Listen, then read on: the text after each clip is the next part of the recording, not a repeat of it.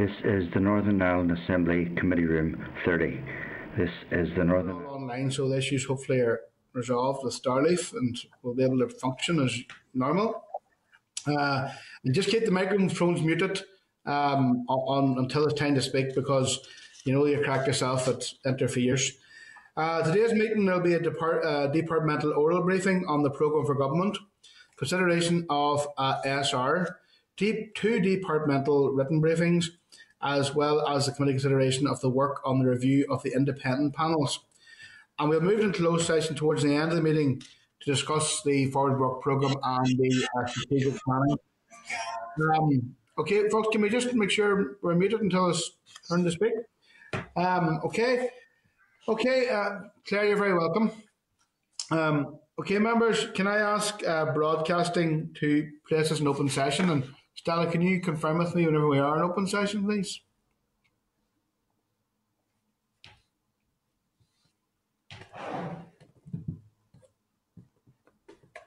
Sorry, I'm on mute. I'm public now. We're in public now. Uh, okay, members, um, very welcome to this, the weekly meeting of the ERA Committee. And we know from uh, our previous meetings that this will be broadcast, uh, recorded and broadcast throughout Parliament buildings and online. Uh, so welcome to anybody who's listening in online. Uh, and we know that the, the usual, you keep the mobile devices muted and in airplane mode. Um, keep everything muted and keep your, your Starleaf muted until it's time to speak to inhibit or we can minimize background noise. Uh, we have no uh, apologies for t- uh, today's meeting. Uh, everyone full full class, full attendance.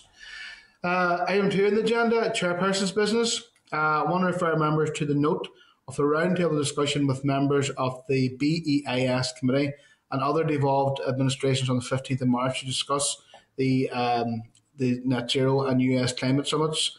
Uh, that can be found at page five. Are members okay to note this? Uh, I want to advise members that the meeting uh, for the first that the meeting packed for the first meeting following Easter recess will issue a day later than usual due to committee staff taking leave over the Easter period. Are members okay with that? I'd say so. Okay, and draft minutes. I want to refer members to the draft minutes from the meeting on the 18th of March, page 12. Can uh, seek agreement for those minutes? Yeah. And I'll send the minutes physically when I'm up there at the next opportunity. Uh, item five, uh, we're going to have an oral session now from the uh, department on the programme for government. I want to refer members to the memo from Stella at page 20, 20 at page 22, uh, papers from the department at page 26, and submission from the um, uh, Friends of the Earth at page 34. Um, I want to welcome by Starleaf um, Aaron Wright, Director of Green Growth, Dave Foster, Director of Regulatory and Natural Resources, Michael McCallion, Head of Waste, and David Kyle, DVO International Trade Facilitation. And I want to invite the officials to begin the briefing, and members uh, will ask some questions thereafter. So, Dave, Michael, and David, you're very welcome to the committee this morning.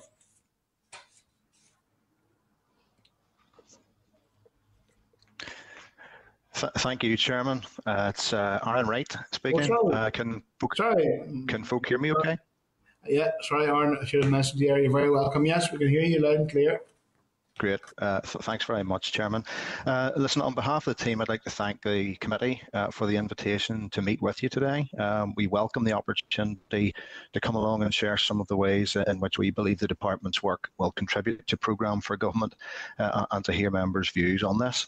Uh, I plan to give you an overview of, of how we've been engaging with uh, the Executive Office and with other departments uh, to develop the Programme for Government Draft Outcomes Framework and also highlight some of the DAERA work streams uh, that will help deliver it.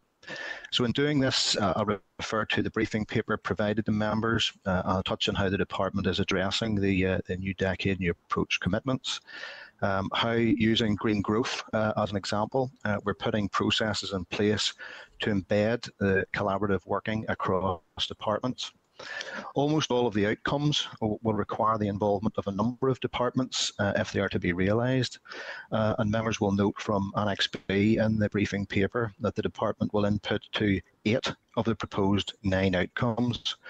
And cross-cutting strategies like green growth and food will contribute to most of them. Uh, I suppose to make the help uh, the, the, session as informative as possible for members, I've, I've been joined by Dave Foster, uh, Michael McCallion, who lead on natural environment and waste and plastics policy, and David Kyle, who leads on the international engagement and trade facilitation work. So all of these areas cut across a number of programme for government outcomes, and I plan to touch on a few uh, during the briefing today. Members will be aware that the Programme for Government is the Executive's highest level strategic plan, uh, setting ambitious direction for government to deliver long-term outcomes that people want to see. So achieving this will require collaborative working across government um, with its partners over many years and be underpinned by a series of strategies, policies and programmes and a corresponding budget. Uh, Annex B shows the strategies and policies the department either has in place or, or in development linked to each outcome. Uh, and at this stage, uh, programmes for delivery and the budget are yet to be determined. The Executive Office, who lead on, on Programme for Government, are following the process outlined in New Decade, New Approach, ensuring that there's widespread engagement and co-design uh, in that process. It's involved workshops, uh, feedback feedback sessions and citizen surveys, and I just wanted to ensure, uh, assure the committee the department here has been fully engaged throughout and provided in, uh, input uh, to the framework, which issued for consultation on, in December and, and which closed, uh, I think, on Tuesday past. Uh, I understand that the Executive Office hopes to be close to a final version of the outcomes framework by the end of April, uh, which will allow us to begin identifying the appropriate actions. And we'll aim to complete uh, this work and enable PFG to be brought before uh, the summer. Uh, and we'd be happy to return to the committee in advance of that to outline the actions the department plans to take and, and to seek members' views. Consultation on the draft budget uh, for 21-22 has concluded, uh, and the, the, final budget is due to be agreed by the executive before the end of, of this month. Uh, at present, the draft strategic uh, programme for government excludes associated expenditure targets. So at this stage, it's not possible to determine how the departmental contributions to programme for government will be reflected in the budget. Um, DAERA's draft business plan for 21-22 has used the PFG outcomes to frame its targets and once approved by the Minister, it will be presented to the committee for, for your consideration. Work's also begun on the first of DAERA's five-year plans to achieve strategic aims set out in its uh, multi-decade strategy, Sustainability for the Future, DAERA's plan to 2050, which was shared with the committee last month and once finalised, the new PFG outcomes will feature heavily in the first of our five-year plans. Our purpose um, remains sustainability at the heart of a living, working, active landscape valued by everyone, um, and which is reflected in the department's strategic priorities, which are to support food, forestry, fishery and farming sectors in contributing to a sustainable economy, uh, to protect and enhance our environment, to champion thriving rural communities and to be people focused, making a difference to those we serve. And I want to now focus on, on uh, some examples of how furthering these priorities the department is progressing the programme for government outcomes. The current uh, outcomes delivery plan, which was developed uh, in the absence of the Assembly, provided departments with an outcomes focus, uh, and so th this kind of model isn't new. Uh, it isn't new to us. As outcomes are long-term, aspirational and generational, many of them uh, in the ODP have carried across into the new uh, draft outcomes framework. And this is reassuring because it demonstrates policy goals are largely aligned with people's expectations as they should be. Annex A of your briefing paper includes a table showing some of the indicators associated with outcome 2 of the ODP. Uh, we live and work sustainably, protecting the environment which has carried across into the new programme for government. The department has lead responsibility for the outcome uh, and five of the six indicators there. And these include waste and recycling, uh, air quality, water quality, greenhouse gas emissions and biodiversity. And both Dave and Michael have been involved in this work. But the department also makes a significant contribution to other outcomes too. Um, so, for example, the, the application of the sanitary, phytosanitary, and public health requirements underpins our valuable export markets and keeps trade flowing. And this is a challenge at any time, but has become more significant as we manage the transition following EU exit. Recently, this has included uh, working toward recovering international disease freedom following the avian uh, influenza outbreaks here and regaining access to the pork market in China for one of our pig processors, the first premises in the UK to be approved since the COVID outbreak. Uh, also putting safeguards in place for the use of critically important uh, antimicrobials helps ensure that sustainability and future efficacy of life-saving drugs. Through CAFRE, we ensure that young people entering uh, a career in the agri-food industry have a broad range of knowledge and skills which equips them to make real impact. And CAFRE also delivers a wide range of knowledge transfer and innovation programs to those working in the industry to drive economic performance in line with ensuring improved environmental performance. So all of which deliver towards the outcomes linked to global competitiveness, uh, children and young people, and, and health. New Decade, New Approach makes a specific commitment to tackle climate change head on with a strategy to address the immediate and longer term impacts. Green growth will be that strategy. This is because tackling climate change needs a holistic approach, requiring transformation of our society and economy that also addresses the challenges facing our environment. And achieving this will make a difference to people's quality of life, living up to the overall aim of Programme for Government. Members received a written update on the development of Green Growth Strategy last month and will have received the draft strategy framework document, I, think, as written briefing uh, for, for today's session. It outlines the approach and timeline for developing the strategy, and we'd welcome uh, members' views on this document uh, and plan to return to the committee with an update on progress uh, in uh, early in May. By its very nature, the, this work is cross-cutting, involving many sectors of the economy, society, and multiple departments. And in keeping with the scale of the challenge, uh, it will be a multi-decade uh, executive strategy led by DAERA. Um, uh, reflecting our Perm Secretary's role uh, as the proposed owner for the uh, environment outcome. It will also be uh, embedded in other major strategies such as that of investment, uh, energy, uh, and the Economic Recovery Action Plan.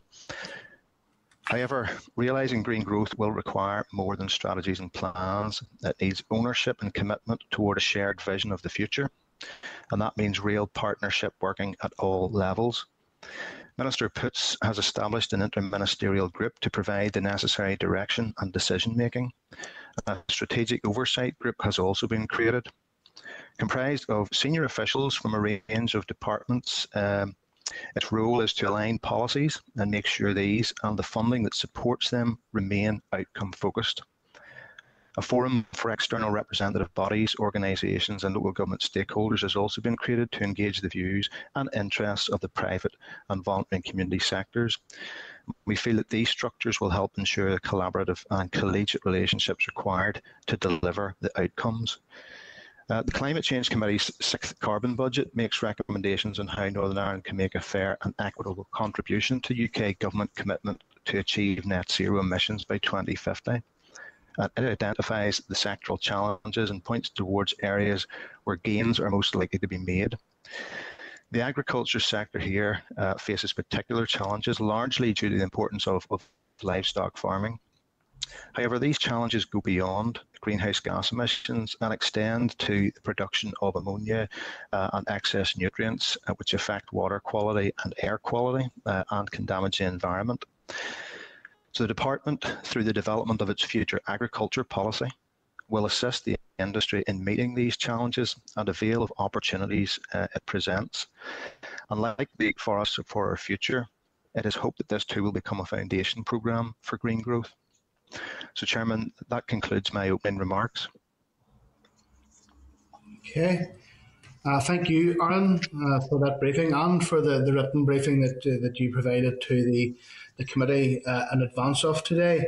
Um, I just want to maybe just reference back, Aaron, just the, just the last couple of points that you made there. Um, in relation to uh, obviously future agriculture policy um, and also ammonia, when, when, when are we likely to see the ammonia action plan published?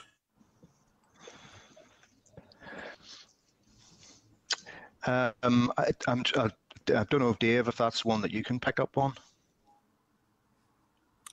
Yep. Thank you, Aaron. Uh, uh, good morning, everyone.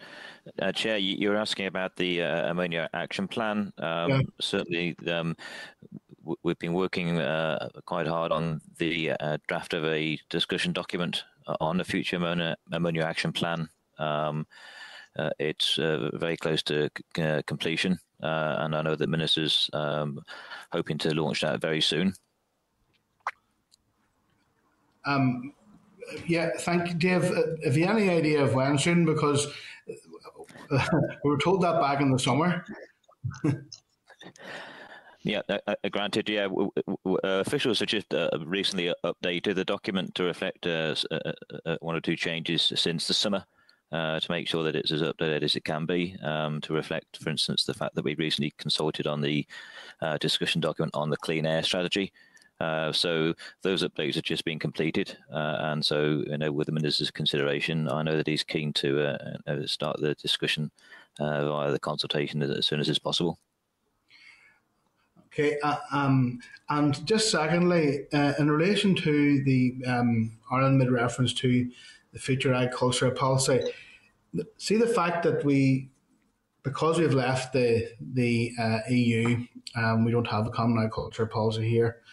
Um, but we, we also don't we don't have our own agriculture act here, and we've been we're, we're waiting for months as well for the publication of uh, a new rural policy.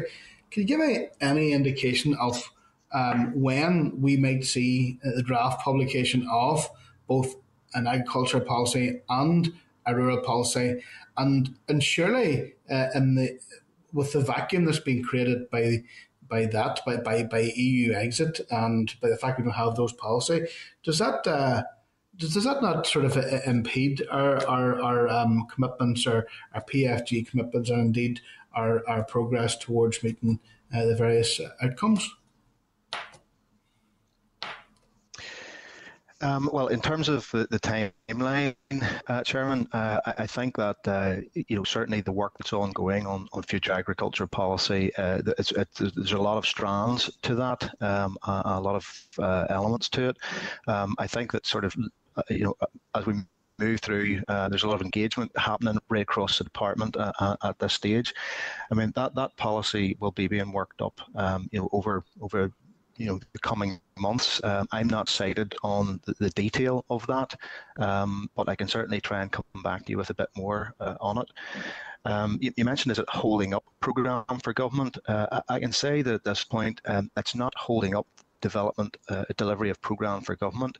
Um, but uh, you know, for us to really start to uh, you know to get into the, the long-term detailed actions that are required to deliver on climate change and environmental improvements, uh, you know, we really need uh, you know the policy uh, and the programs behind that to start that that, that, that ball rolling.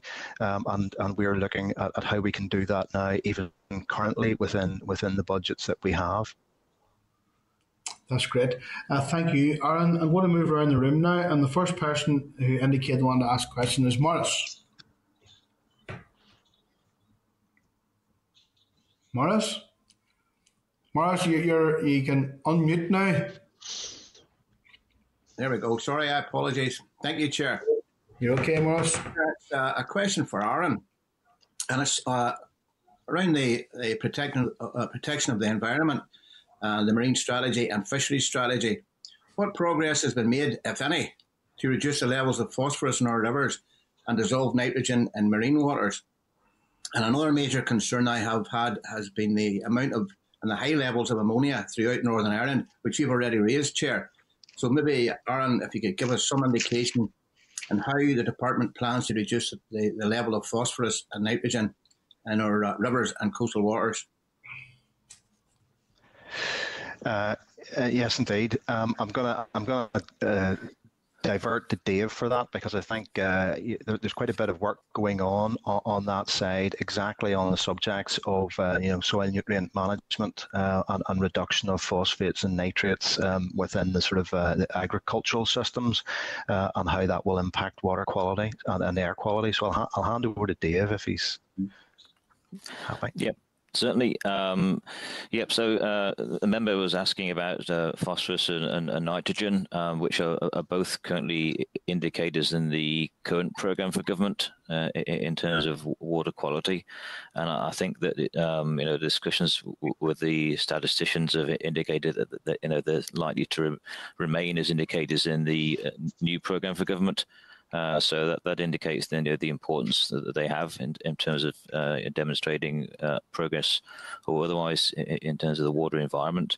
Um, I think in, in, terms of the you know, the trends currently, um, you know, I think the briefing paper shows that you know that, that there hasn't been a, a, a positive um, statistical change in, in nutrient concentrations in fresh waters for phosphorus uh, and marine waters for, for nitrogen.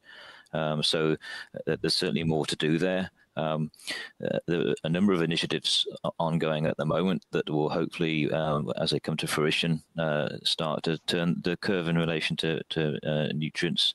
Um, so, in, in, terms of the, the regulatory approach, you obviously have the, the Nutrients Action Programme, uh, the NAP, uh, which was updated just over 18 months ago uh, and included some uh, uh, updated requirements in relation to spreading of nutrients, uh, particularly a move over a number of years to increased use of low emission spreading techniques. Um, the department's just run a, a, further tranche of the FAS, FAIS scheme uh, to support uh, a move to that technology, uh, and interest and take up of that has been has been very strong. Uh, so I think that indicates that the you know, industry recognises that there's more needs to be done uh, and uh, are looking to invest in technologies that allow them to do that.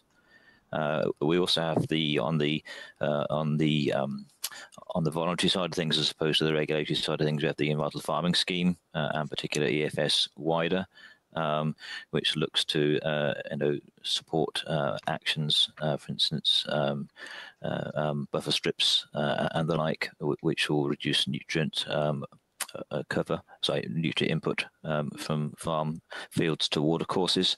Uh, and uh, the department, uh, subject to business case approval, are looking to launch further tranches of that this year and, and next year.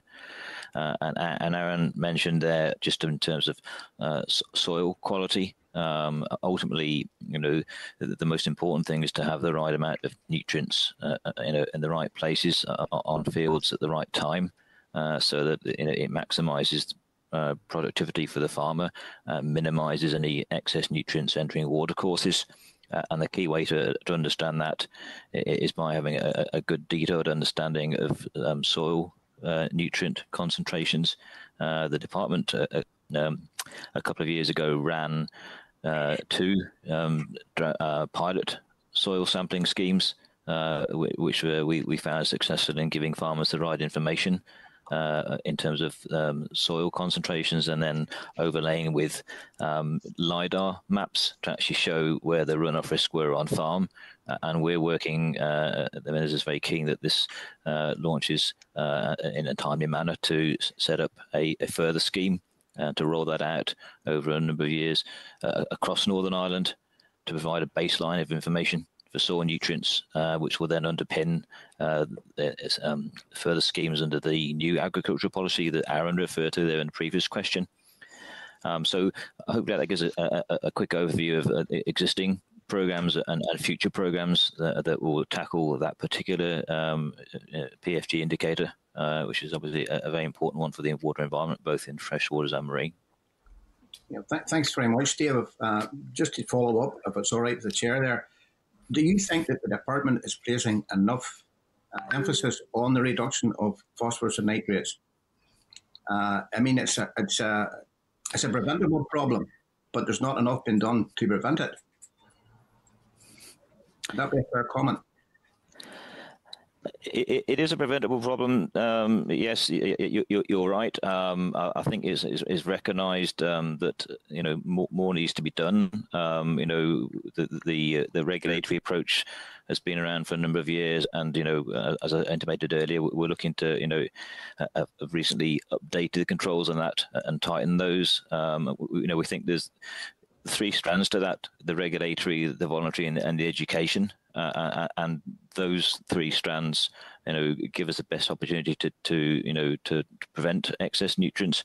But the fundamental, I think, is if farmers have the right information um, they can make the right behavioural changes um, because there's there's no benefit in them uh, losing nutrients to watercourses when if it's in the right place on on their on their fields is actually going to be doing them economic benefit.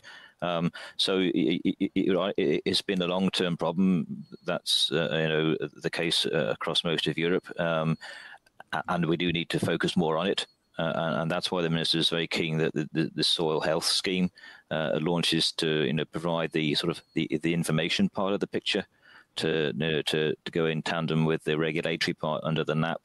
Uh, and then the opportunity for farmers to, to, to do things on, on the farm um, in, via schemes like EFS to, to use the information they get from their uh, from their soil samples to make some you know, positive changes for, for their own farm business and also the environment.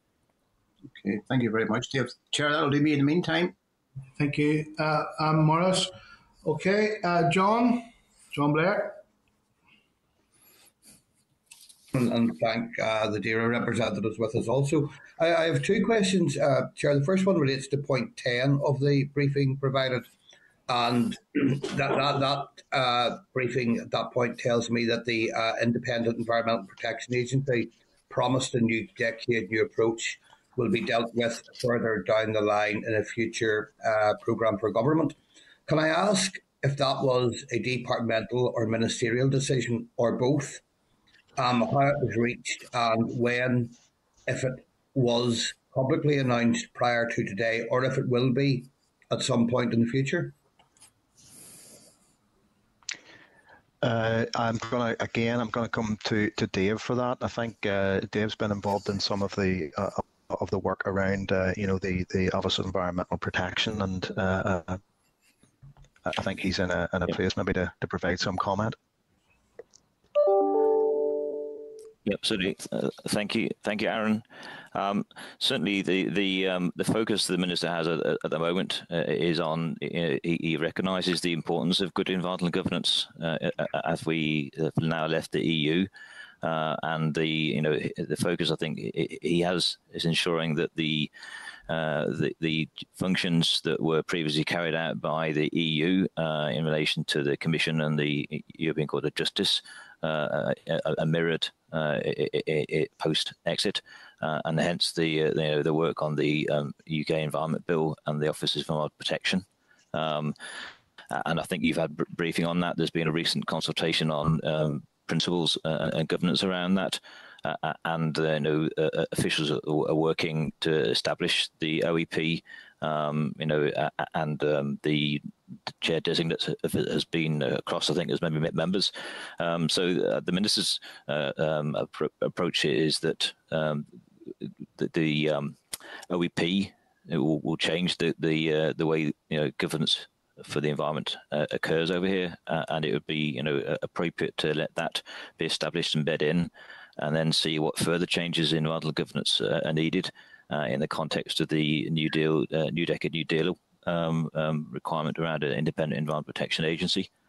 Um, so, uh, you know, I think he wants to see how things bed in uh, and then consider, you know, perhaps in the next mandate and, and the next program for government, uh, for what further changes are needed and scope those out. Um, you, you also asked, um, you know, to the extent that that had been announced.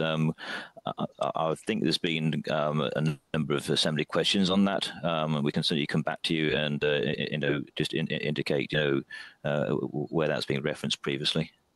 Okay, yeah, yeah. I'm not questioning the, the role or, or obviously not the existence of the OEP, but I'm concerned that if uh, new decade new, new, new approach commitments are being um, dropped then there should be a public uh, announcement of that, and the rationale for that decision should also be made clear. So, so hopefully, hopefully that can be clarified along with whether it was ministerial or departmental or, or both, and whether or not that was shared at executive level. Also, would be very keen if that information could be provided in, in more detail.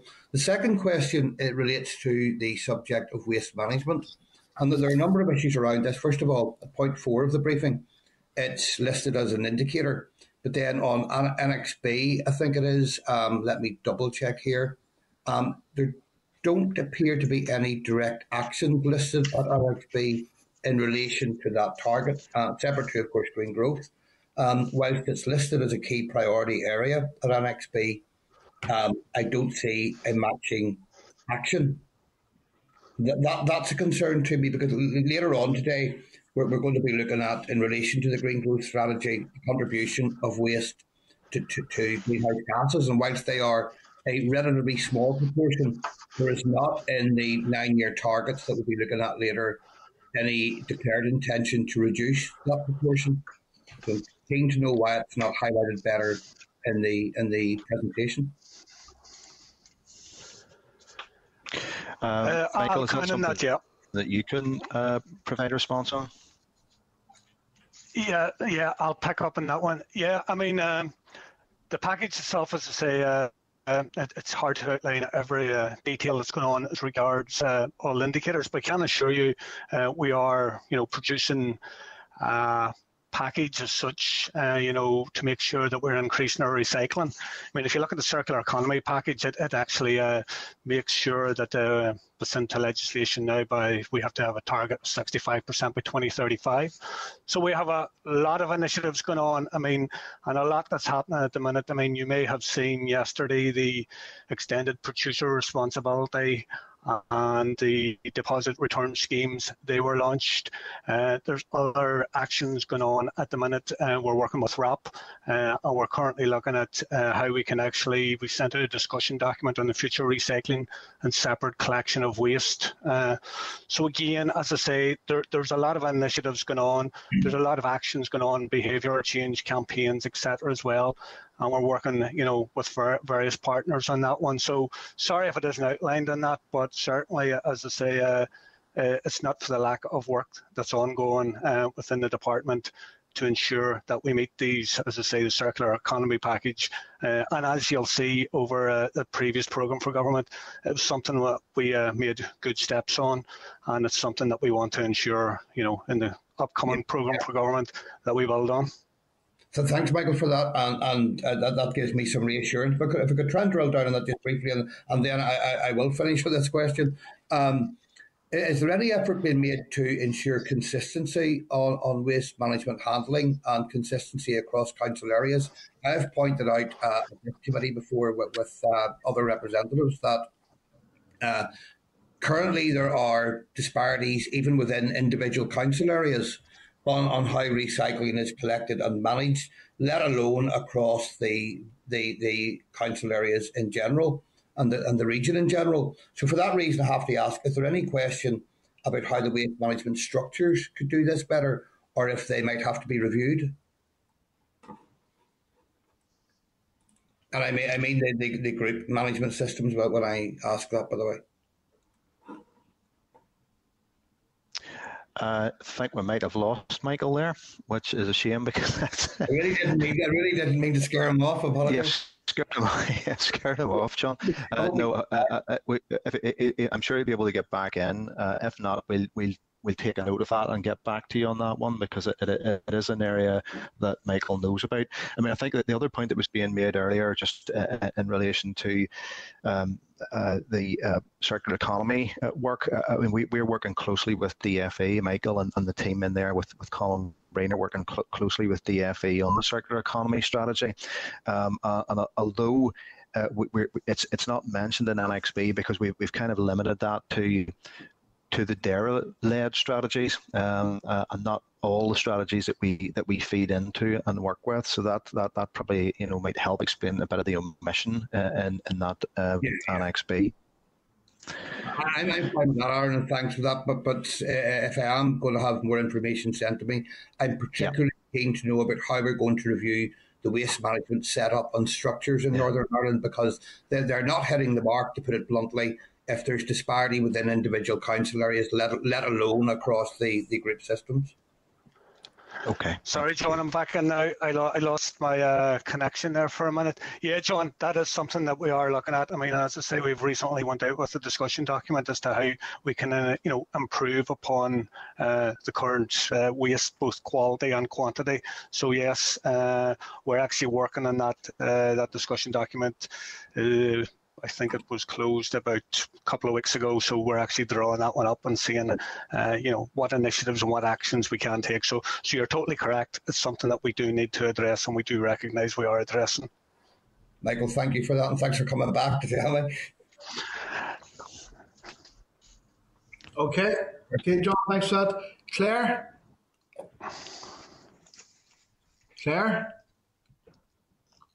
Um, great. Listen, I want to go back to uh, just stick with that um, the nitrogen uh, and uh, I know that we all know that there's been no change in levels of phosphorus and nitrogen in marine water. Um, and I'm just wondering, is there in the in the department's climate change bill, will it contain specific targets on water quality and nitrogen?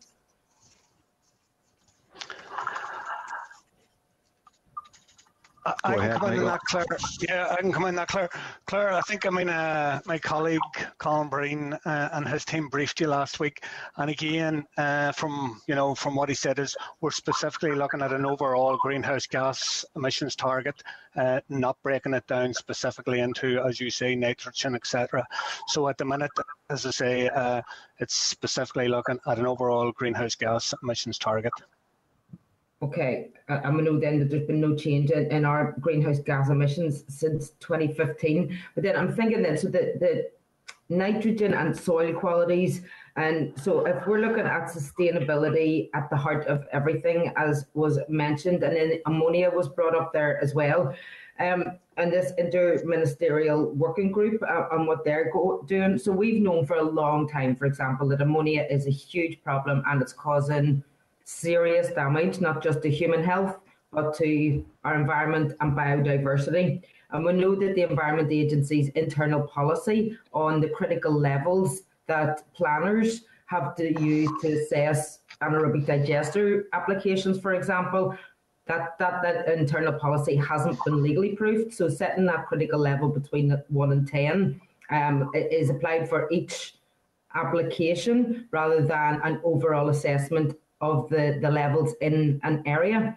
Um, so when we're looking for quick wins, uh, and we keep hearing about the ammonia strategy, it's already been brought up by the chair there again that we haven't seen it um, yet. So can we go for quick wins, or what's the what's the level of thinking about legally proofing internal policies and working with planners to make sure that you know damage and planning applications that are currently being passed stop happening?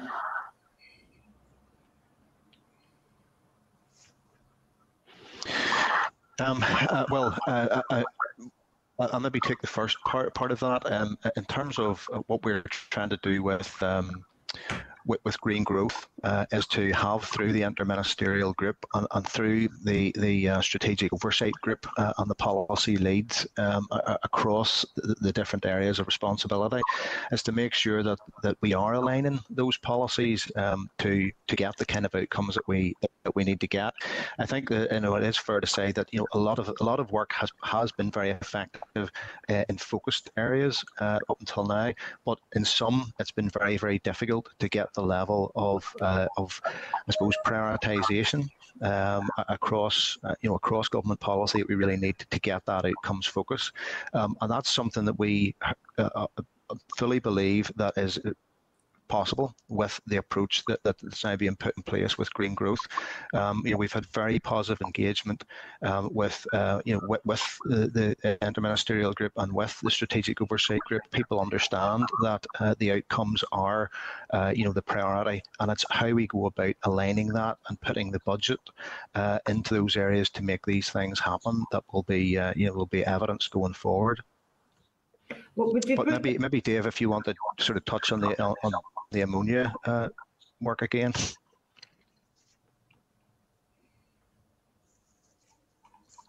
I think you're on mute, Dave. Dave? Sorry, apologies. Is that better now? Um, yeah. Sorry. Uh, yeah. Um, yeah, so I appreciate members are obviously very keen to to see the consultation issue on, on ammonia, um, and you know loo- looking for quick wins within that. Um, you know, th- there are a number of elements to you know addressing the ammonia problem. Um, you know, there, you know, there's the um, if like the, the need to take action, uh, and you know the consultation will, will set out you know concrete actions and an action plan to, to deal with that, both at a regional level and then also you know what we need to do at a site specific level. Uh, and you know the, the, a mixture there of you know the regulatory, uh, the education, and, and, and the voluntary. Um, recognizing that you know we need to move quickly on this and and put forward actions that will have the best opportunity to reduce you know, ammonia by the maximum amount as quickly as possible. Um, there's also a need, you like, to, to work at habitat restoration as well. Um, so we're you know, uh, uh, recognizing that damage has already been caused. Um, you know, uh, particularly say, for instance, on, on peatland habitats. You know, what can we do to uh, actively um, improve the situation and, and restore those habitats? Uh, and then uh, picking up your point in terms of the, the agency's uh, operational policy, um, you know, certainly uh, the, the consultation will, will um, I think, reference that uh, and, uh, and options for going forward. Um, I think you know planners have been involved in those discussions uh, in, in terms of that, and, and probably the committee have already uh, had briefing on that previously. But you know that, that's just a, a broad outline of some of the sort of main themes that, that a consultation will, will, will hopefully address, uh, recognizing that you know it's been a while in its gestation, and there's a, a need for quick wins, and the department are, are aware of that and recognise that. Yeah, okay, and, and maybe it's not of your doing, but you know, again, I'm going to um, express real frustration because we know about all these problems. We've known about them for a long, long time, and what we're hearing in response is that there's strategies being developed. So we're hearing about um, a climate change bill being drafted, an ammonia strategy. We know that our water quality has failed. We know that our air pollution levels are unsustainable. We know that we know all this stuff, you know, and it's this thing about know, strategies and consulting and strategies and consulting when we know there's very quick wins to be had internally just by simply changing an internal policy that doesn't have a rationale really behind it. So I just wanted to put that on the record. Um, but can I go back to this in- interministerial working group um, and know then um, that Aaron, you give us a quick um, quick roundup on that. But can I just go back? Who specifically is on the interministerial working group for climate change? Um, when do they meet? How often do they meet? And do they have priority issues that they're looking at? Uh, yes, the, uh, the the that group currently uh, we, we've we've we've tried to given the, all the other um, I, I guess uh, pressures that are on across uh, government, you know, we've tried to focus in uh, initially. Uh, certainly on those departments that have, I suppose, most impact potentially on on you know climate environment uh, uh, change. So, uh, apart from the DAERA minister, we have ministers from infrastructure, communities, uh, economy, uh, and finance. Uh, and obviously, you know, as uh, the, the intention is as we as we move forward, uh, that we'll have uh, all ministers involved in that. Uh, there has been at this stage um, one meeting of that group, um, which took place in January. Um, the strategic oversight group of senior officials has met now three times. Um, the last being uh, week before last. So there, there has been engagement, and, and we, we would be planning that there'll be another interministerial group, uh, possibly um, uh, April, May. And have any priority issues been identified by the group? Well, at, at this stage, the main focus for, for us is looking at uh, the, the, the, the, the climate change piece. Um, you know, because that's obviously that's the, the big focus, and in the run up to COP26, um, you know, we want to be in a position to clearly state that, um, you know, as part of our green growth strategy development, uh, we want to be working up a, a, a, climate action plan for Northern Ireland um, and be in a position to to sort of highlight the key priorities that we feel, um, you know, we can take forward uh, that will demonstrate Northern Ireland's commitment to to playing its part there. I just ask a last question then? When we're looking at the, the food strategy framework, and we know that they'll feed into lots of the, the key priority areas in the area. Um, uh, but I'm, I'm thinking, does, does, such a framework exist? Um, and out of the first 15 po policies and strategies mentioned by DAERA, how many of those have been actually published? Uh, I, I said, uh, I guess, at the beginning uh, in my opening remarks that um, you know what we have here are strat- some, some of these strategies and policy areas are, are, are long-standing, and others are in development. And the food policy framework is one that is, is in development. Um, you know, there's a heavy uh, uh, alignment with the Department for Economy on this, uh, and, and obviously we want to try and, and link into with you know health um, and the food aspects there for, for a healthy diet for people, and also in terms of education. Um, for uh, you know, young people learning about uh, you know the, the, importance of diet. So th- there's a whole range of aspects there uh, outside of just of just this department. But that's a strategy that is uh, it's going to be uh, you know quite a cross cutting piece of work. Um, we're planning to use uh, the same green growth uh, structures that we have, those governance structures, uh, to try and facilitate um, that level of engagement. So we, are not going to sort of restrict uh, the, the interministerial group uh, and strategic oversight group just to looking purely at uh, at the, the climate piece. You know, we, will be able to bring in food um, as an agenda item to that. That that's the plan at this stage. Um, okay, thanks. And who's on the strategic oversight group then? Well, the senior officials, deputy secretary level, uh, who are the sort of the leads on, uh, for example, uh, you know, agri- future agricultural policy, uh, energy policy, uh, economic policy, uh, strategy, and um, and I suppose on the finance side as well, and communities, housing, planning, and transport. Thank you. Thank you, Kieran. Philip. Philip? Philip? Philip has dropped out. All right, no, back. Uh, just following on from some of the points other members ha- ha- have already made. I mean, obviously, cross departmental working is essential if, if DAERA is to achieve its PFG targets. You know, for example, in the outcome two uh, fall to DFI, this is basically saying that 25% of all journeys made by walking, cycling, public transport, you know, will help to uh, contribute to the program for government outcome two. We live and work sustainably, protecting our environment, uh, which is one of the indicators. Can, I ask just then, in relation to that particular one, can DAERA expand, can, or sorry, can you expand on the cross departmental working with DFI on this particular outcome and on this indicator? Um, uh, on that particular indicator, um, I, I, I don't have the background knowledge of uh, you, you, know what um, uh, you know because D, DFI report you know or have been reporting on that on under the um, outcomes delivery plan to date. So I'd need to find that one out uh, and get back to you.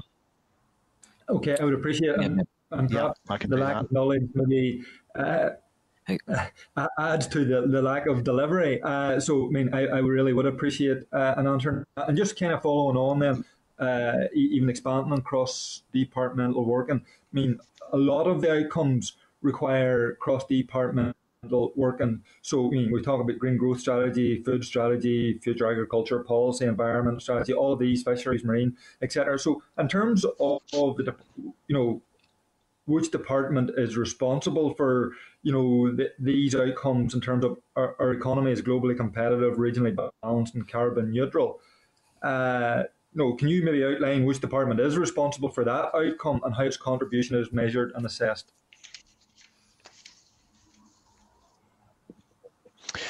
Um, as, as far as I understand it, that that outcome uh, is is is not that the idea going forward is that those won't be departmentally owned. Um, uh, it'll be more that uh, you know the, the secretary of of a department will will take ownership for that, um, and that they will be then sort of uh, you know ensuring that there, there's a lead role taken there. Um, again, it, it, it, comes down to trying to ensure that um, there's an outcome owner rather than a, a, kind of a departmental responsibility to try and encourage the, uh, you know, improved uh, you know, cross-departmental working. Um, I think DFE, from from understanding, is, is proposed uh, uh as the lead department in that one, Philip. Okay, thank you. And then just following on, uh, just uh, from John's question on waste management. Obviously, you'll have seen the report today that uh, is suggesting that through the pandemic, uh, littering across the north has increased as a problem. And I mean, I, am I'm aware of my own constituency, community groups uh, out every weekend uh, doing litter picks and cleaning up litter. I mean, it's, it's a serious problem which I just can't get my head around. But I mean, has the department uh, considered uh, a zero waste strategy, you know, similar to you know strategies in, in other jurisdictions?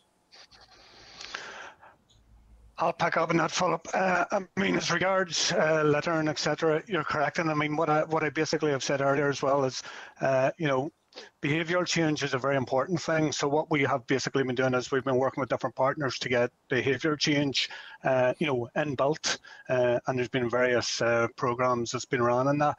As regards the waste strategy itself, I mean, waste strategy is something that's upcoming, and I think uh, these are due to be briefed somewhere down the line. Uh, again, unfortunately, it's one that hasn't been able to be uh, forwarded, basically because of you know, other pressures, EU, etc. But it is on our radar, and it is something that we know we have to look at. So as the CEs will be briefed on that one itself uh, whenever that one's been developed. Okay, in, in, terms of behavioural change, because I mean, as I say, I, I, just can't get my head around the levels of littering, uh, particularly in, in, public spaces where people go to access uh, the natural environment, and particularly in places where there's ample bins for, for placing waste. So, I mean, I literally can't get my head around the level of, of, of littering. But it's clear from the increase that whatever our strategy is on behavioural change isn't working and, and we need to do something different. Uh, otherwise, we're just going to get the same results. Maybe uh, if I can pick up on that one, um, it, it, you're quite right, Philip. In terms of littering, that, that there has been an increase, um, you know, uh, uh, uh during lockdown, and uh, uh, we, have certainly had correspondence from, you know, a number of stakeholders and, and local councils around this. Um, it, we'd mentioned the environment strategy, um, which we'll, we'll, be hopefully consulting on it, it, later on in the spring, uh, and certainly w- within that, I think we'll be you know, looking as one of one of the things, um, you know, the, the issue of littering and whether the the framework we've got at the moment in terms of the you know the sort of statutory regulatory framework and, the level of fines and the, and the type of uh, restrictions uh, is appropriate. Um, so there's something that's certainly on our agenda in terms of you know do we need to have a, a, more update, robust littering strategy and, and, and legislation behind that. Um, but ultimately, you, are right. You know, it, it is behavioural change. You know, people need to be you know minded to do the right thing. Um, you know, we, we do fund keep, uh, keep Northern Ireland beautiful uh, and their Live Here, Love Here campaign, uh, which is you know is aiming at behavioural change, uh, uh, and it you know it, it's you know something that they're uh, you know that they're very um, keen to push forward. Um, you know, and the, the happiness, successes, and behavioural change. I remember there's a, a campaign in Texas, a long-running campaign, "Don't Mess with Texas," which really did have some hard-hitting messages you know, using bikers to sort of, you know, to, to put messages, you know, don't mess with our state. And that sort of civic pride and wanting to do the right thing is ultimately what's going to be needed to be done. Um, but you know, that's the behavioural change piece. Uh, as I say, we're, we're, looking at maybe a littering strategy. Uh, are there other initiatives? I mean, I think yesterday we, we launched a consultation on the deposit return scheme um, in, in terms of plastic bottles uh, uh, and, and, you know working with industry to put in place the infrastructure to make it easier for people to, to do the right thing. So that you know there's a, a wide variety of you know levers that can and, and ought to be used, uh, and I need to link those together. Um, but you know, it, it, ultimately, it, you know, people's attitudes and behaviour will be what uh, you know really delivers on this, uh, and you know that that is a, a tricky, complex issue, as you've rightly recognised. Okay, thank you. Thanks. I think on that there, on the waste issue, I agree with Philip. Um, it's desperate and it's so unsightly around the country. But I do think the department needs to adopt not just the carrot but also the stick as well in terms of uh, deterring uh, people who, who who engage in this type of activity. Um, I'm going to move around the room. Rosemary. Rosemary. Yes, can you hear me? You got your Rosemary? Yes. Thank you. Um, you, you spoke earlier, Aaron, about the Climate Change Act, and that was one of the most important, um, most one of the most important uh, outcomes that you were looking towards in the climate, the Climate Change Action Plan.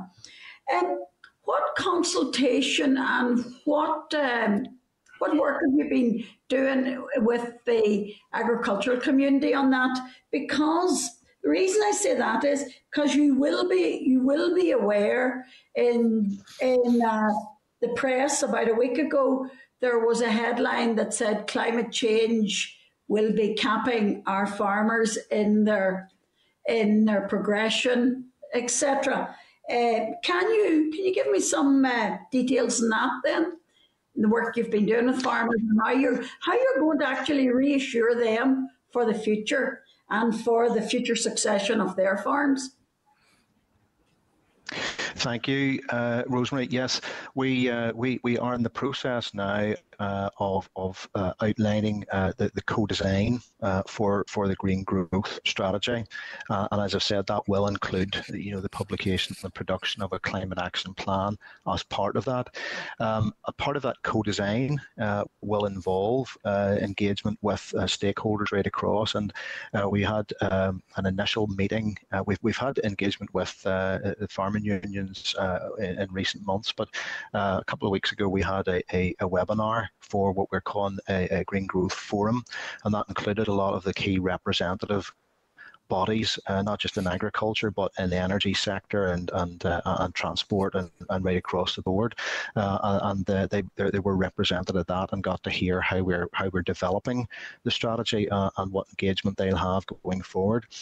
Um, in terms of uh, the, the, challenge that, that, you know that faces agriculture here, um, there's, there's no question. Uh, it was highlighted um, in um, uh, the, the Committee for Climate Change um, piece that, that came back on their sixth carbon budget that uh, you know we're, we're uh, we've got a different uh, livestock, with a different agriculture sector relative maybe to other parts of the UK, uh, with a very um, you know uh, uh, significant livestock uh, sector, and that will create particular challenges. Um, so uh, the reality there is that uh, you know farmers, landowners are are in, are stewards for you know a million hectares of, of, of land in Northern Ireland, and that land potentially can capture carbon um, uh, grassland can capture carbon. Um, you know, peatlands that, that, that are managed uh, and, and, woodland that is managed uh, can can capture carbon as well. So, as well as uh, looking at um, you know what farmers can do to reduce you. the production. Sorry, can you hear me? Uh, can you repeat to reduce that, production? Yes, as well as well as uh, farmers being able to maybe reduce the production of greenhouse gases uh, from their their systems, they also are in control of the land uh, area that potentially could could uh, could capture it. Um, so that's you know there, there is a, there's a bit of a trade off there. Now I suppose the the the challenge will be, um, and again, it'll link back into future agricultural policy, um, and we're very closely linked into the, the team developing that. Um, how that policy will uh, enable farmers to uh, to, to contribute to the, redu- the reduction of uh, carbon uh, and also to uh, improve habitat and biodiversity on their farms, um, how they will be able to uh, link into redu- reduction in nutrients excess nutrients causing the problems that uh, you know members have already referred to in water uh, and in air. So I mean, it will it will inevitably come back to you know what levers uh, we have at our disposal as a department or, or even as an industry to uh, reduce the impact? Yeah, because I think farmers actually are very, a lot of farmers are extremely concerned. I've had a number of phone calls this week in relation to the Climate Change Act, and there are a number of people out there very, very concerned about the future of farming. Yes, they're prepared to play their part. There's no no issue about that. But I, I do think that there seems to be a, there needs to be a lot more education do, done, a lot more support given to them in relation to looking at the yeah. positives. Absolutely. Yeah, and I think that that's, I mean, it's, it's a really good point that you make because uh, what, what we're trying to do with green growth is not to look at anything in isolation.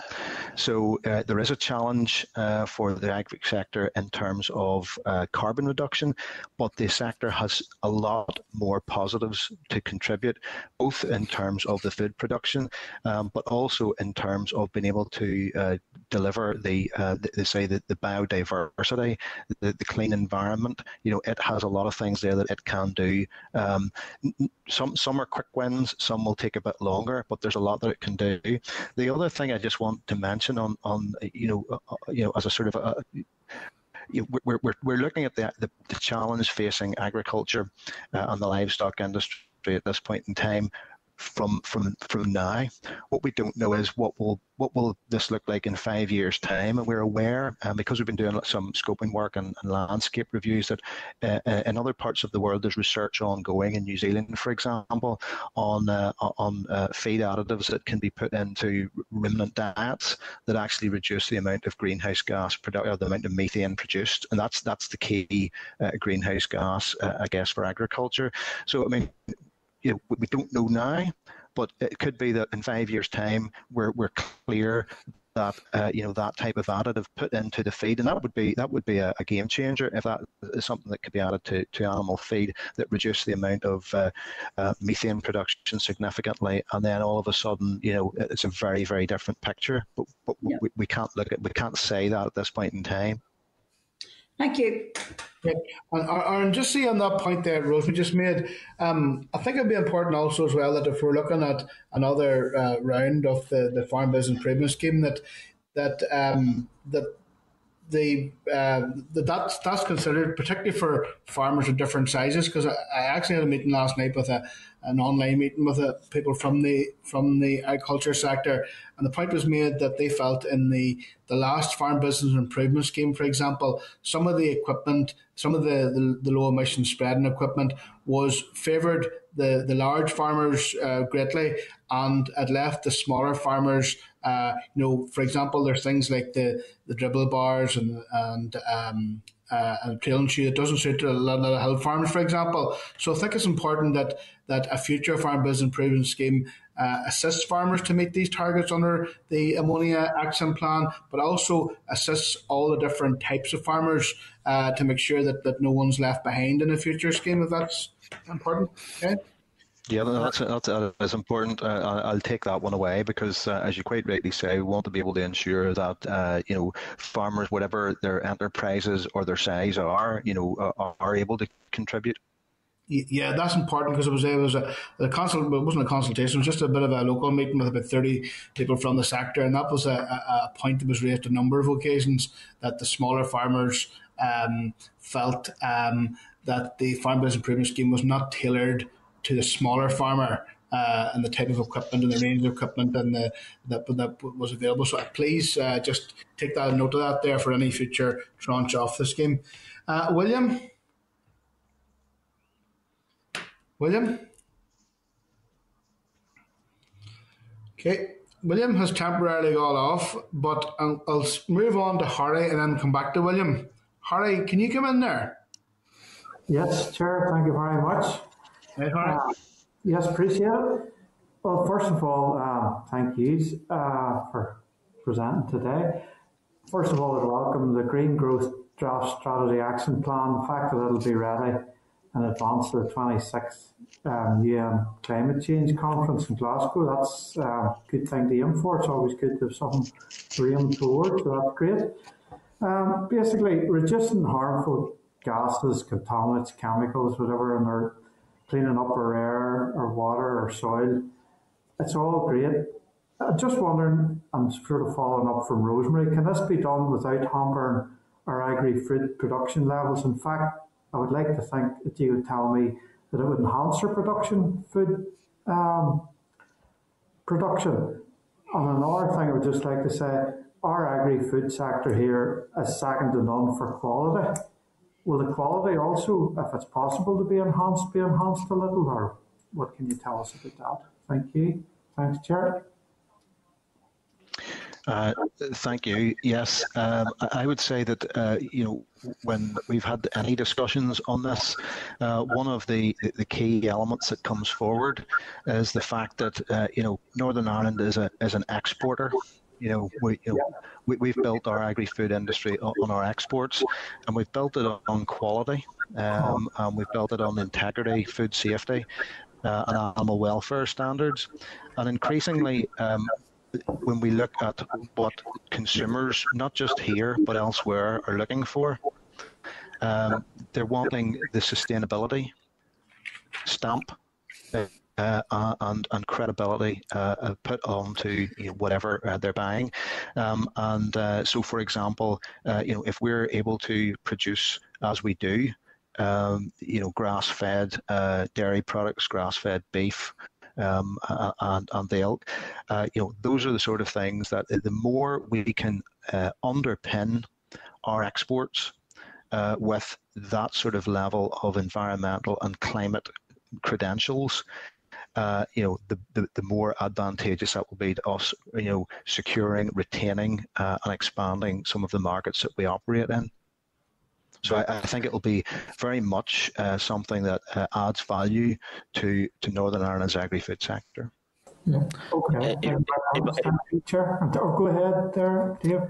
Uh, if I could just maybe add to what Aaron said, you know, uh, ultimately, you know, I think a lot of this is about resource efficiency, you know, uh, and helping farmers to be resource efficient because you know every gram of nutrient that, runs off from a field into a watercourse is, is a waste to the farmer uh, and his system. You know it, it, that could be used on farm, you know, to replace uh, you know bordering fertilizers or the like, and equally with, with pesticides. You know they they cost a lot and if they end up you know uh, uh, uh, spray drift or running into rivers, then that again is you know not the most efficient use of resources. So, you know, I think there's a you know a, a win-win to be had there uh, in, in, terms of you know keeping this in a in a closed system um, so that you know the, the, the money that farmers spend in, in managing nutrients or, or, or, buying in fertilizers or pesticides is, is used efficiently uh, and, and you know ultimately uh, uh, you know enhances their productivity and, and has minimal environmental impact because it's to, to their benefit uh, you know from, from both of those aspects. Um, I, I, Sorry, change how we do things, support, modernise and adapt without affecting it, yeah. Yeah, I think I think longer term too. Uh, you know, we we need to be aware that um, you know not everybody um, will be able to you know, for example, capture capture carbon. Um, some will be able to do that better than others. Um, and you know, globally there is there is various um, carbon trading uh, schemes that operate. Uh, and I mean, I think the industry here, you know, can potentially look at saying, you know, are there things that we can do that will allow us to capture carbon that will we will then get paid for? Uh, now that may may or may not be government paying it. It may actually be uh, things like the um, you know the, the, the aviation sector paying uh, you know people you know paying farmers here to capture carbon for them to allow that to happen. So that, that kind of carbon trading is another option that potentially would be open to uh, you know to, to, to farmers who, who, as I say, own uh, you know a million hectares of, of land here. Yeah. I think as Rosemary said, the last thing we want to do is put our farmers off. They're getting it tight and Absolutely. hard. So encouragement. Yep. Thank you very much, gentlemen. Thank you, Chair. That's me. Problem. Uh, William, are you back online there again? Yeah. Yeah, go ahead, William. Thank you, Mr. Chairman. And maybe I can declare an interest in a farmer and a partner in an active farm, so I'm declaring interest in that. Can I say, like, I believe that the vast majority of farmers wants to play their part in helping our economy or uh, our, um, our environment and economy. But I mean, we have a, we have a situation whereby um, ammonia strategy is still not out there. Farmers are very anxious at the moment. Um, they're prepared to invest and do they play their part absolutely, and that can be proven by the Farm Business Improvement Scheme uptake at the moment. Uh, there's a big uptake. Uh, they want to play their part. we, we have a, a, an agri-food sector that is the envy of many across the world, uh, creating in the region of 100,000 jobs. So I think it's vital that we get this right. Uh, it's vital that the we don't do our approach is sensible and it is, what we want to do is doable uh, and bring the agriculture and farming sector with us. Uh, do you, I'm sure you would accept that the department has a big role to play in this, and not wanting to be critical of the department, I think we need don't need to be dragging our feet any longer. We need, need to get our act together and move on these issues.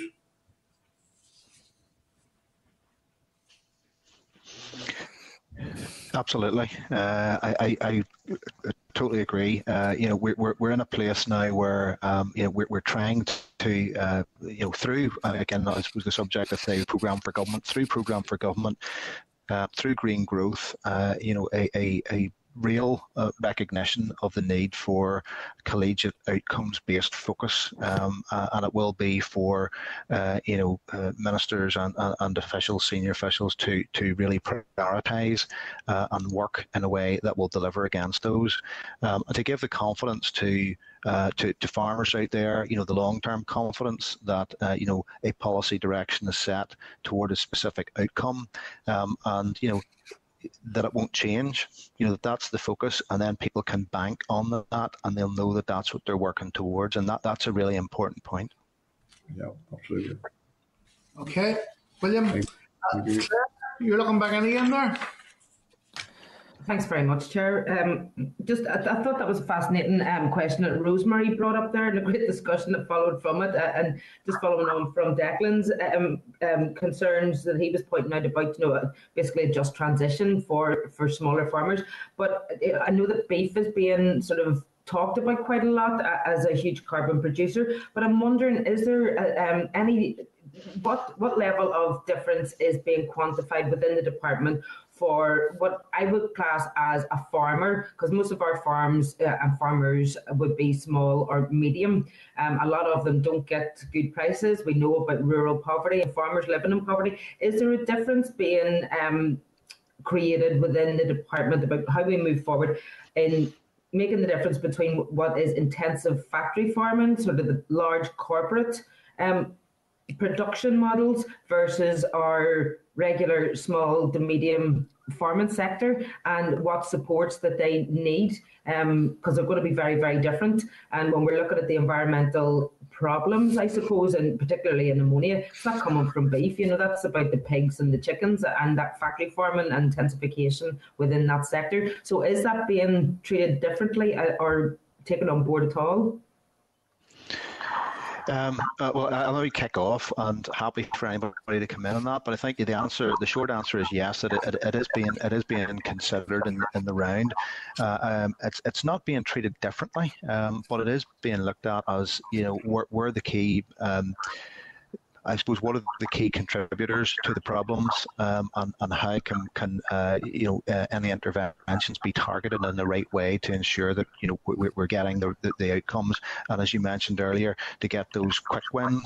So if there's things we can do um, that will bring that about quicker by targeting um, you know one group uh, over another, if that's where the you know the problems originating, then that, that would be part and parcel of the approach that, that, that would be taken. But you know the reality is that is is being worked out at the minute through development of, of future ag policy and uh, you know on Dave's side agri environment policy. I suppose I'll just add to what Aaron said in terms of future agricultural policy that you know one of the uh, underpinning principles would be around environmental sustainability and um, you know using money to support public goods yeah. and you know recognizing the, the differential between different farm types mm. and so some smaller farms you know might be delivering more in terms of public goods you know in terms of you know peatland sequestration uh, uh on on the hill or habitat provision or um, contributions to carbon sequestration or water quality. Um, other farm types, you know, which perhaps more intensive, you know, the, the, public goods from those might be less, but they might be, you know, bringing in more profit, and so the, the level of, you know, support might need to be tailored to recognise that. Um, so that's, that's, certainly something that's within the thinking uh, uh, as the department looks at future agricultural policy. Um, I suppose just on, on the specifics of, of, ammonia, um, you know, although the um, pigs and uh, poultry sector, you know, have, have perhaps a, a, greater level of increase of ammonia emissions compared to other sectors, the the beef sector still is the largest single emitter of ammonia. Uh, in in total, with obviously, uh, you know, trends different between different sectors. Thanks for that. Okay. Okay, then, um, as we have uh, no other members down to ask a question here, I would like to take this opportunity to thank Aaron, Dave, Michael, and David for uh, coming along here this morning and uh, giving us very comprehensive briefing and answering the questions very comprehensively as well. So, thank you very much, and we will be uh, seeing you again uh, in the time ahead. So, thank you. Thank you. Thank you. Thank you, Chair. Okay, members. I'm going to move on now to item six on the agenda, which is a departmental written briefing at the Zoonoses uh, Order NI 2021. Memo from Stella is at page 43, papers from the department at page 45, along with a report from the examiner statutory rules, which has been tabled. I want to advise members that the regulations are subject to the negative resolution procedure and are due to come into operation on the 25th of February. The committee last considered the regulations at the SL1 stage and its, its meeting on the 18th of February and indicated it was content with the merits of the policy. The ESR has advised the rule is in breach of the 21 day rule, however, she is content with the explanation provided to, by the uh, department. So, um, uh, unless members have any comments about this here, I will put the question, okay? Um, that the 25 Country Department Rule of Affairs considered SR 2021 44, the Zoonoses Amendment Order NA 2021 has no objection to rule. Okay. Mm-hmm. Okay, members. Uh, item number seven, uh, written briefing from the department on the green growth strategy. Uh, uh the papers are on page 52 of your pack. The green growth framework is the first step of the development of a more detailed strategy that will be consulted on. Um, it makes an overview of the work program, which includes significant data modeling, building, um, but, uh, but uh, provision uh, was included significant modelling, building on the analytical work undertaken by the Climate Change Committee. It also sets our approach to co-design and co-delivery and the proposed program. The Department will the committee considers and, and comments on the draft strategy in advance of public consultation launch in due course. However, at this stage, the department would welcome the committee's view on the framework. Um, do members uh, want to take a, a, few minutes to take a look over that there? Um, um, uh, have you any comments to make, or maybe um, can also members also check that their um, their mics are, are muted as well. Uh, so that's page uh, fifty-two of your packs. Um, if you have any, you can raise now. If not, you can forward them in to the uh, committee as um, uh, by the, later on today till Stella. Members okay till uh, mm-hmm. consider and send in there um, any questions you have to Stella by uh, later on today, by close play day. Okay. Mm-hmm. Okay, members. Uh, item eight is a written briefing uh, on the, EU transition. Uh, that's page 85. Again, any questions, please forward them to the clerk by uh, the end, by close of play today.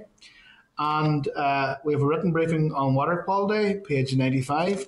And again, same thing, if members could take uh, the chance and read over it and forward, fire, fire, uh, forward any questions they have or comments to Stella, the clerk, by the close of play today.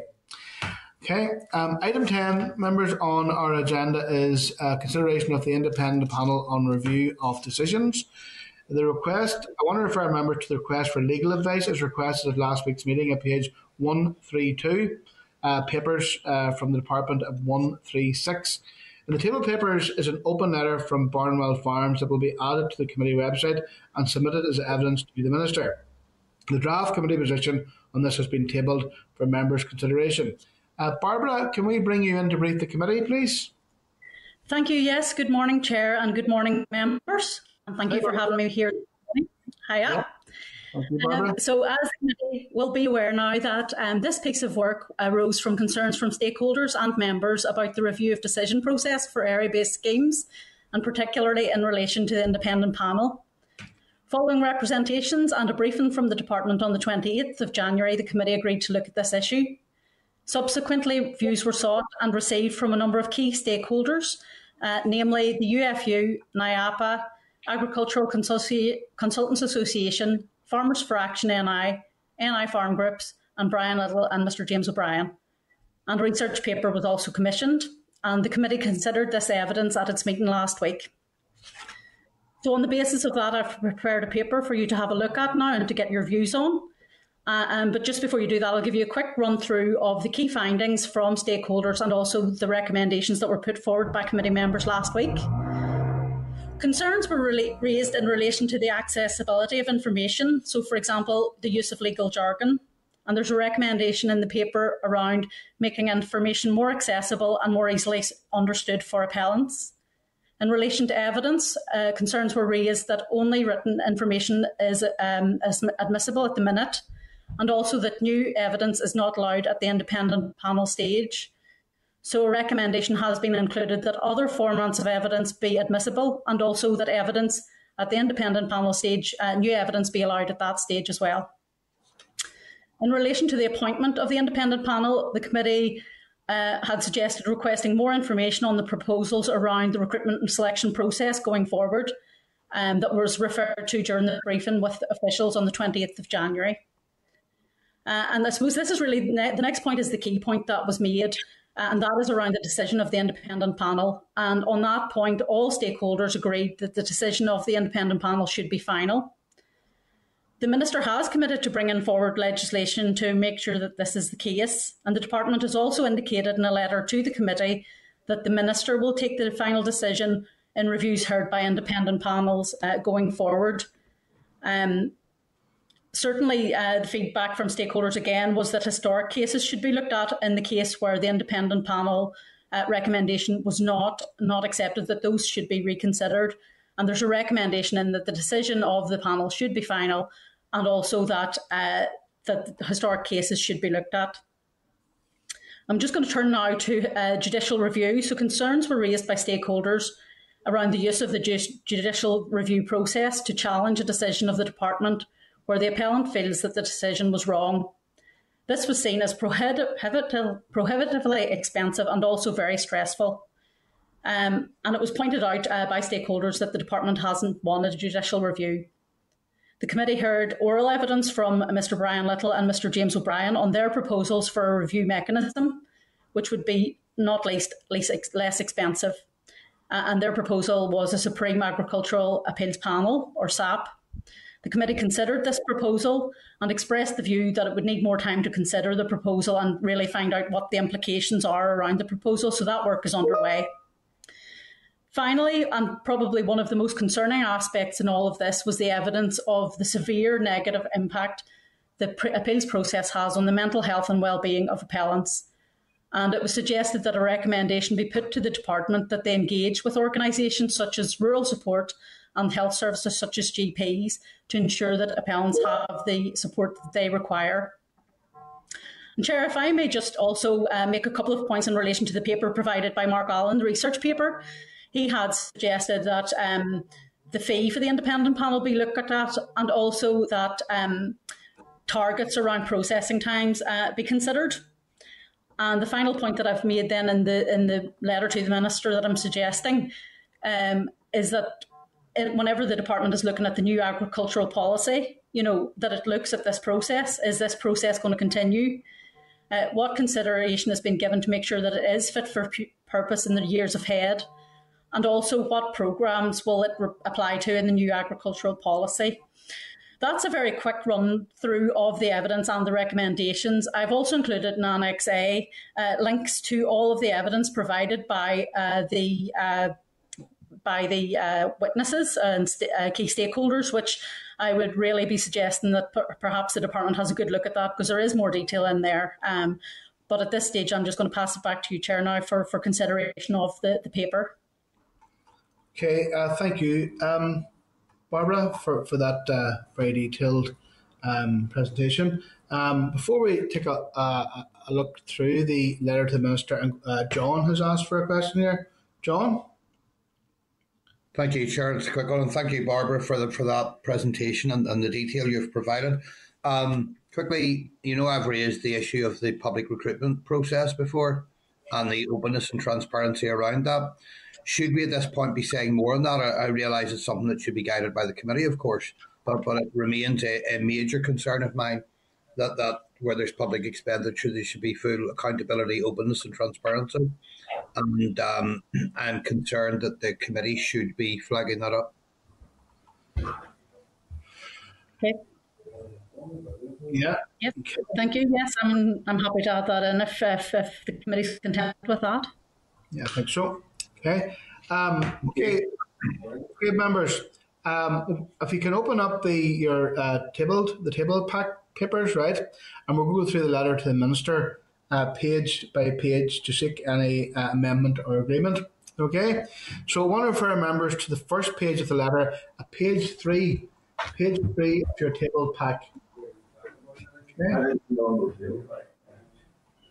Page three. Okay. Um, are members okay with uh, page page three? It's mostly factual information. Okay. Okay, members. I'm going to move now to page four. Page four of your table of your table pack. Yeah, that references the mental health and the GPs and um, those and the evidence brought uh, to the panels. Okay, numbers okay. Page four. Okay, members. Page five. Uh, the committee will look for further information on the proposal for recruitment selection of the panel. Uh, John, maybe that's the bit that you're referring to, John. There. Uh, Item six about their uh, yeah. selection of the independent panel. I, I, would probably go further in, in recommending that that the that a public recruitment process should be undertaken. But I do understand point six there gives it the option to get that information, and that's probably okay. Okay, John. Okay, okay, members. Um, so that that that was page five. Uh, Okay, uh, we'll now consider the annex to the letter. I want to refer members to page six. Um, so, if there's any comments on page six, annex A of the letter, um, mostly factual as well. Page seven, page seven of the table pack, mostly factual information as well. Okay, uh, page eight Okay, we'll summarise the views of the Agriculture Consultants Association. Uh, okay with that, members? Um, page 9, um, summary of NIAPA's and ACANI's um, position on these matters uh, as uh, witnesses, stakeholders. Page 10, we have uh, summary of the UFU and uh, from Mr. Little and Mr. O'Brien, and the begin uh, and obviously the, the SAEAP proposals. Members okay with that there as well? Okay. Okay, uh, page uh, uh, 11. Members okay page 11? Do the panel, the proposed panel. Okay page 12, page 12 in your pack, the role of the Ombudsman, start cases, consideration of evidence by the, the committee. Page 13, impact on mental health, the, the, costs of JRs and other stuff like that. So members, okay with the, uh, page 13?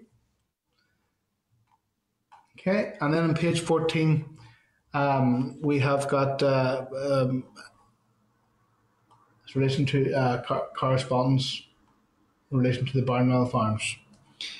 Um, so, if members are okay with uh, what we have drafted here, uh, uh can I seek agreement for the letter to issue to the Minister?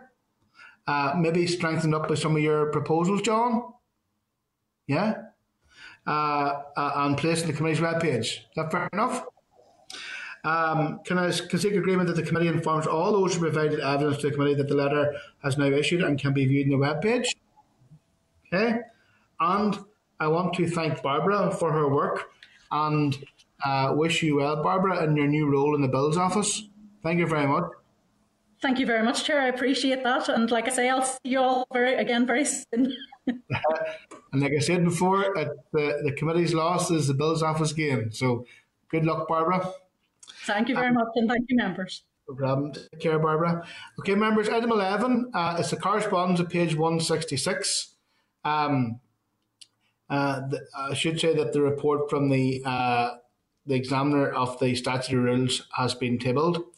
Um, in relation to the uh, correspondence, are, are, we happy to uh, um, action the correspondence as suggested on the index page of 163? Um, uh, can, can I also ask just uh, in relation to that rural the rural school in and Fermanagh, could, could could we ask in terms of the action as well about um, has a, a, about a rural needs impact assessment been carried out on that decision? Uh, I know it's a school, uh, technically not within our, our department's remit, but nevertheless, the rural impact would have. It would be okay if we include that request as well about the rural um, has there been a rural impact assessment been carried out that decision? Yeah, yeah I would support that. Chair. Okay. Okay, members, if you any other business you want to raise? Okay. Okay, members. So um, that's great, members. So, well, thank you very much. And we're going to have to go to.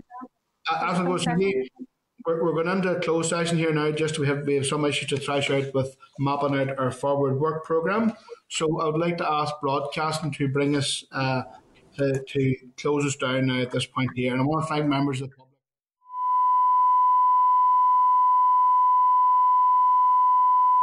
This is the Northern Ireland Assembly Committee Room 30. This is the Northern Ireland Assembly.